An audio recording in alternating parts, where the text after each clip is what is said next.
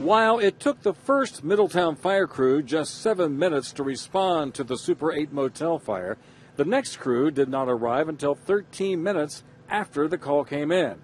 Fire officials say it was not an appropriate response for a location with high risk occupancy. One deputy fire chief told Local 12 News off camera that had the fire been three or four hours later, the result could have been catastrophic. The layoffs are creating safety concerns for firefighters and Middletown residents.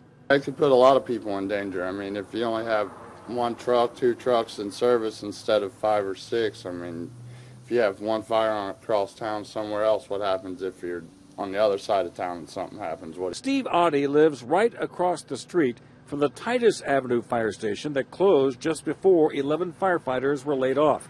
He does not feel quite as safe as he once did. And it's going to be a longer response time. It could be from three seconds up to now to 10, 15 minutes. I mean, 10, 15 minutes is a long time to be waiting in an emergency. Middletown Mayor Larry Mulligan says he's thankful no one was hurt in last night's fire. Speaking by telephone today, the mayor says he is disappointed the union voted down the proposal, but says, quote, the city's budget cannot support the old staffing model given revenue declines and spending reserves used in the past few years to preserve public safety positions, end of quote.